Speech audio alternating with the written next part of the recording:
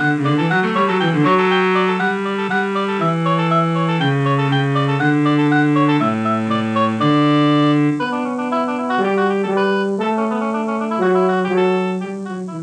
year, the size of computer data sets gets larger, reaching a size of many gigabytes for today's most data intensive applications. Von Neumann computers were designed for applications which had, by these standards, very small amounts of data. Even the giant mainframes of the 1970s computed on datasets that now seem very small in comparison. It is this million-fold growth in data intensive applications, such as the simulation of seismic waves generated from an earthquake, that has led to a new form of supercomputer, one with thousands of processors instead of just one or two.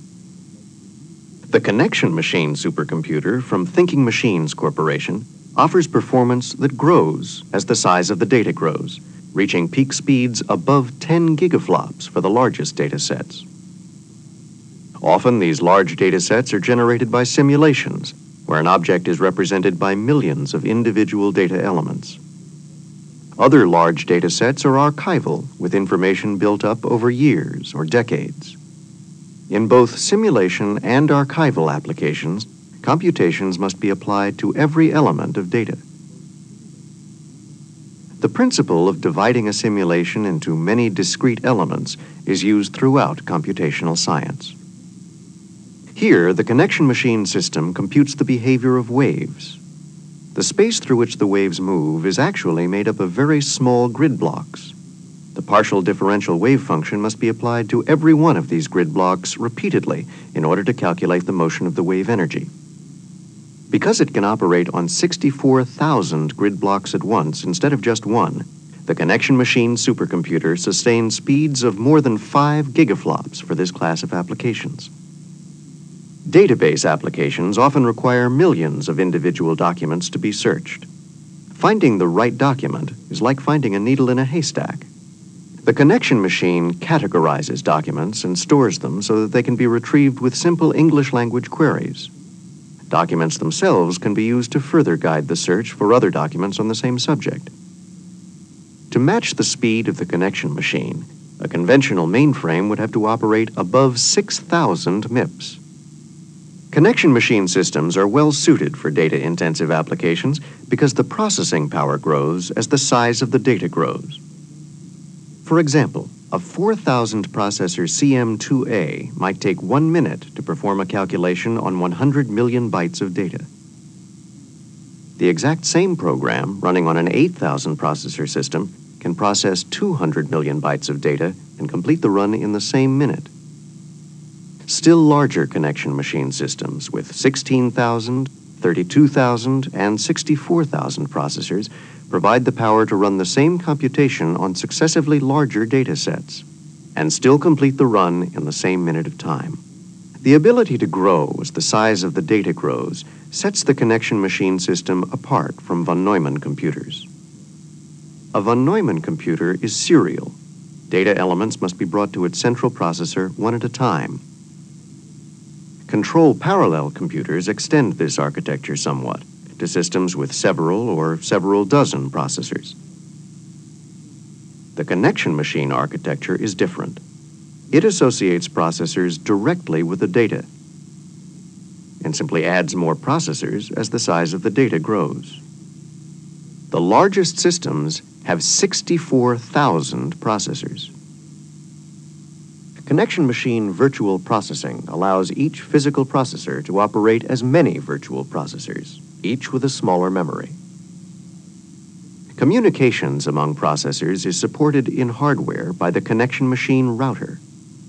Linkages reconfigure dynamically to match the underlying data topology. The general communications network allows detailed information to be rearranged according to the needs of the computation. All 64,000 processors send and receive messages simultaneously. An applications example illustrates the way that parallel processing and communications work together. Wave behavior is described by a partial differential equation, the wave equation. A common way of discretizing this equation is with a second order finite difference lattice. which calculates the values of wave energy at individual points in the medium. The values at individual points are dependent upon the values at the previous time step and the values at neighboring points. Hence, the equation may be arranged into its geometric form. Each grid point accesses data from neighboring grid points and uses that data to update its own status.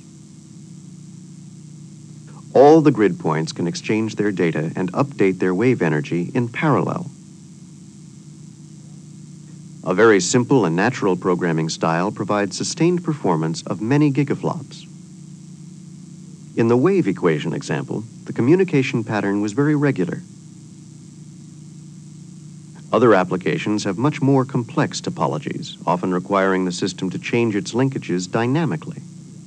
For example, in a molecular simulation, the connection machine system calculates the interactions and positional changes of thousands of individual atoms in parallel. Notice, for example, the fluctuations in the hexagon grouping at the top of this molecule as it rotates into view. Fluid flow simulation is still another supercomputer application that is fundamentally parallel, because the fluid behavior must be calculated everywhere at once. Here, the system models the effects of a channel twist on the behavior of fluid passing through.